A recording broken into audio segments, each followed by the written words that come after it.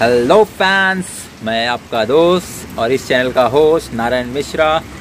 Welcome to my channel Narayan Mishra rise over hate तो कैसे हैं आप सब लोग? आई होप कि आप सब लोग अच्छे होंगे और अच्छे रहने भी चाहिए। आज हम जिस टॉपिक के ऊपर डिस्कशन करने वाले हैं डिस्कशन करने से पहले मैं आपको एक छोटा सा वीडियो प्ले करके दिखाना चाहता हूँ। आप वीडियो देखो और फिर उसके बाद हम बात करेंगे। मैं आगे बात कंटिन्यू करूँगा। विदाउट वेस्टिंग टाइम पहले वीडियो देखते हैं, उसके बाद डिस्कस करते हैं।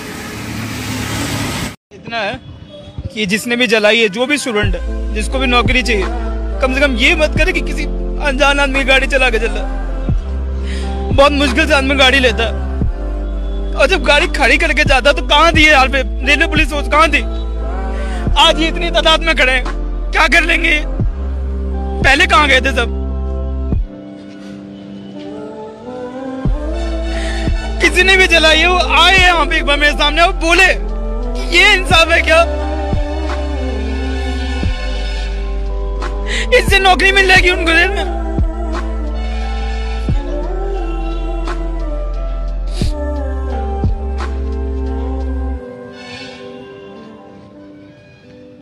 मोदी जी से दिक्कत है, नीतीश से दिक्कत है तो वहाँ जाइए ना।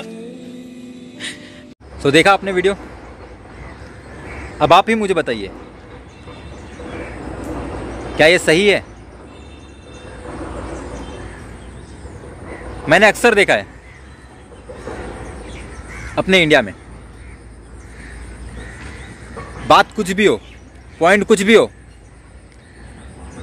लेकिन नुकसान हमारा होता है। हम जैसे आम आदमी का। कौन करता है नुकसान? करने वाले भी हम ही हैं। मुझे नहीं लगता है कि ये जो वीडियो में इस शख्स की जो गाड़ी जलाई गई है, वो किसी स्टूडेंट स्टूडेंट ने जलाई है। या फिर किसी आर्मी में भर्ती होने वाले जवान ने जलाई है। मानता हूँ कि जो गवर्नमेंट ने जो चार साल का आर्मी में सर्विस का जो रूल्स पास किया है, गलत है। लेकिन उसका विरोध करने वाले जिस तरीके से विरोध कर रहे वो सही है? गवर्नमेंट की प्रॉपर्टी को जलाना। या फिर आम आदमी के प्रॉपर्टी को जलाना, उनकी गाड़ी को तोड़ फोड़ करना, उनकी गाड़ियों को जलाना, ये सही है? आप बताइए। मेरे हिसाब से तो गलत है। अब आप लोगों को जो भी लगता हो मे बी बहुत सारे लोग सपोर्ट कर रहे होंगे इन ऐसे उत्पात मचाने वालों को बट मैं नहीं करूँगा। उस शख्स की फीलिंग को समझो, उसके दर्द को समझो। एक एक वर्ड में कितने दर्द थे उसके, जो वीडियो मैंने अभी दिखाया अपने बात सही है। एक इंसान जब गाड़ी लेता है ना तो उसके पीछे, उसको कितनी मशक्क़त करनी पड़ती है? वो एक एक रुपया जोड़ के, पाई पाई रुपया बचा के, कैसे कैसे करके वो गाड़ी लेता है, क्यों लेता है? ताकि वो उस गाड़ी के ज़रिए दो वक्त की रोटी कमा सके, अपने परिवार को खिला पिला सके, कुछ दो चार पैसे कमा के बचा सके। यही उसका छोटा सा सपना है। बट वो सपने को भी हमने आग लगा दी, उसकी गाड़ी जला के। अरे, कम से कम दूसरों के सपने को पूरे नहीं कर सकते तो उनके सपनों पे आग मत लगाओ। एक सिंपल सी दरख्वास्त है, आप सभी लोगों से। प्लीज़ जागरूक होइए और ऐसे लोगों के खिलाफ खड़े होइए। क्या मिल गया उनको?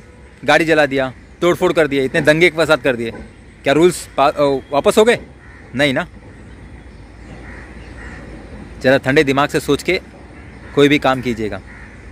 मैं कोई ज्ञान नहीं पेल रहा हूँ यहाँ पे। है ना, मुझे ज्ञान पेलने का शौक़ है। सॉरी मैं अपने वर्ड्स के लिए मैं माफ़ी मांगूँगा। माफ़ी चाहता हूँ। बट उस शख्स के दर्द को देख के मैं थोड़ा भावुक हो गया हूँ। मैं उसके दुख के ऊपर बात कर सकता हूँ। उसके दुख को समझ सकता हूँ बट फील नहीं कर सकता। फील तो वही कर पा रहा होगा। गाड़ी जला दी आपने। क्या पता हो उसने गाड़ी लोन पे ली हो उसका ईएमआई कौन भरेगा? वो गाड़ी ड्राइव करके ईएमआई का पैसा बच, आ, निकालता होगा और अपने परिवार को चलाता होगा। तब जाके वो किस्त भरता होगा। जब उसकी गाड़ी ही नहीं रही तो किस्त कहाँ से भरेगा? और आपको क्या लगता है कि बैंक लोन माफ़ कर देगी? तो दूसरे की संपत्ति को नष्ट करने से पहले, जलाने से पहले तोड़ फोड़ मचाने से पहले, दस बार सोचो। चीज़ों को बनाने में, चाहे वो भरोसा हो, बिज़नेस हो, या व्यापार, या घर, बनाने में वक्त लगता है, बिगाड़ने में नहीं। आपको क्या लगता है? वो गाड़ी एक दिन में खरीद लिया होगा? उसके सपने कई महीनों से, कई सालों से कर रहा होगा। कहीं जाकर उसने पैसे बचा बचा कर पाई पाई सेविंग कर करके उसने गाड़ी ली थी। तो बनाने में इतना वक्त लगा और आपको तोड़ने में, नष्ट करने में कितना टाइम लगा? विद इन ए सेकेंड आपको क्या हासिल हो गया? मिल गई नौकरी? दूसरे को नुकसान नुकसान पहुँचा के मिल गई आपको नौकरी? अरे समझो यार। चार साल का जो रूल्स पास किया गया है, वो कुछ सोच समझ के पास किया गया होगा। आप लोगों ने भी तो देखा होगा। आप गवर्नमेंट के किसी भी सेक्टर में चले जाइए। चाहे वो बैंक हो, चाहे वो सरकारी अस्पताल हो, या स्कूल हो सरकारी, या और भी कोई सरकारी संस्था। तो आप खुद समझ सकते हो कि वहाँ पे काम कैसे होता है। जब जब तक किसी इंसान को, मैं पर्टिकुलर अपना एग्जांपल देता हूँ। जब तक मुझे कोई गवर्नमेंट जॉब नहीं मिलती, तब तक मैं गवर्नमेंट जॉब पाने के लिए अपना सारा एफर्ट लगा दूँगा। बहुत प्रिपरेशन करूँगा। हर जगह कोशिश करूँगा। फॉर्म भरूँगा, दौड़ करूँगा, दौड़ लगाऊँगा। मतलब अपना फिजिक्स बराबर करूँगा, सब करूँगा। लेकिन आखिरकार मैंने अपनी जॉब पा ली सरकारी नौकरी पा ली उसके बाद क्या? उसके बाद एक मेंटालिटी आ जाती है कि अब मेरे को गवर्नमेंट जॉब मिल गई है। अब मेरा, मैं चाहे काम करूँ या ना करूँ ऑफ़िस जाऊँ या ना जाऊँ, मुझे पेमेंट मिलनी है।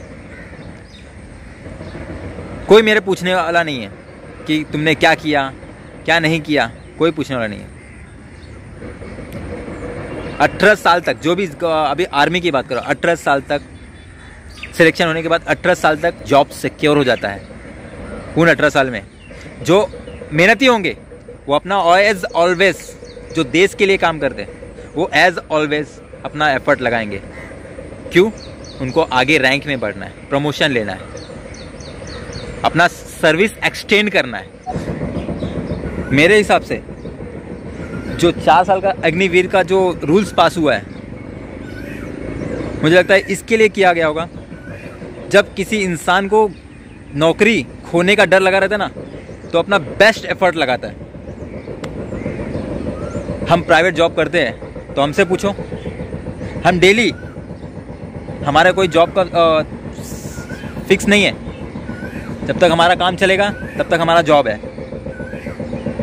सो so, हमेशा हमें जॉब खोने का डर लगा रहता है। इसकी वजह से हम अपना बेस्ट एफर्ट देते हैं। और मुझे लगता है गवर्नमेंट भी कहीं ना कहीं ये रूल्स लगा के उन सभी आर्मी ऑफिसर ऑफिसर को अपना बेस्ट एफर्ट लगाने के लिए बोल रही होगी।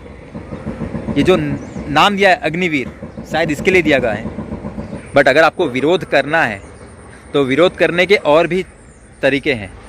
सरकारी संपत्ति को नुकसान पहुंचाकर, आम आदमी के संपत्ति को नुकसान पहुंचाकर आप कोई अच्छा काम नहीं कर रहे हैं। और ये हमेशा होता है, मैंने हमेशा देखा है, चाहे बात कोई भी हो पॉइंट कोई भी हो, तोड़ फोड़ पे ही पे ही आएगा अपना मुद्दा।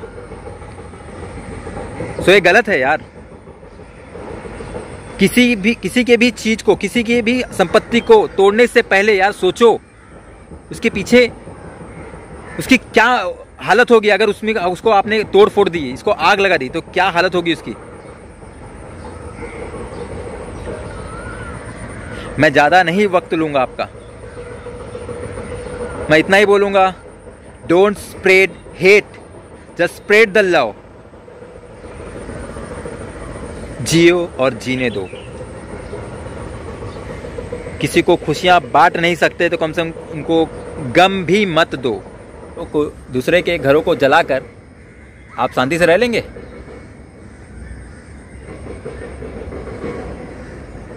उसकी बदुआ कितनी लग रही होगी? उसके परिवार की कितनी हाई लग रही होगी? वो सोचिए।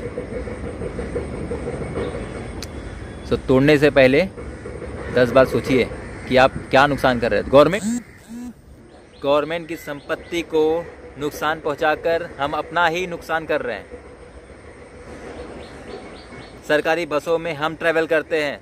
सरकारी ट्रेनों में हम ट्रैवल करते हैं। सरकारी अस्पतालों में हम जाते हैं।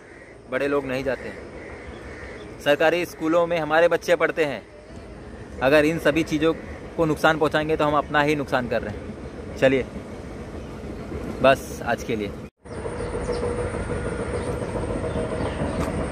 ये मैं आप सभी लोग से, से रिक्वेस्ट करता हूँ अगर आपको मेरा ये वीडियो अच्छा लगे तो प्लीज़ और शेयर लोगों को तक पहुँचाएँ ताकि कुछ तो पहल हो। ऑलरेडी इतनी सारी नफरत फैलाई जा चुकी है। कुछ तो प्यार बांटो।